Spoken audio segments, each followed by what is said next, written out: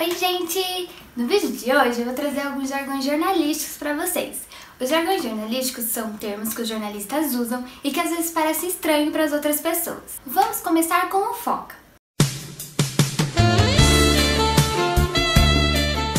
O foca talvez seja o primeiro termo que um jornalista ouça a entrar em ação. Foca é o nome dado a todo estudante de jornalismo ou até mesmo jornalistas recém-saídos da universidade que, por estarem começando, mais observam do que fazem. É aquele serzinho observador e curioso. Outro termo também muito usado é o deadline. O deadline é o último prazo que um jornalista tem para fechar uma edição ou terminar uma matéria. É a chamada hora da morte.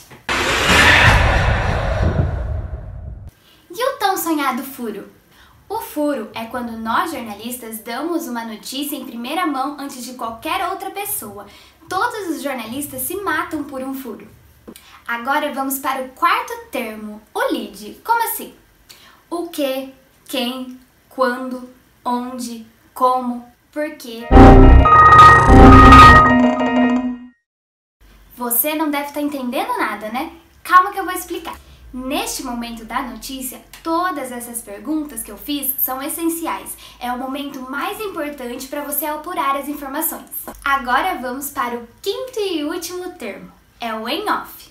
O em-off é quando o jornalista dá uma declaração, mas não revela a fonte. Mas vale lembrar, quando um jornalista dá uma informação com uma fonte, ela sempre vai ter mais credibilidade. Você deve estar pensando que os jornalistas são loucos. E sim, são um pouco mesmo. Mas o jornalista Felipe Pena, autor do livro Teoria da Comunicação, diz que todos esses vocabulários e costumes estão ligados a uma teoria, a teoria gnóstica.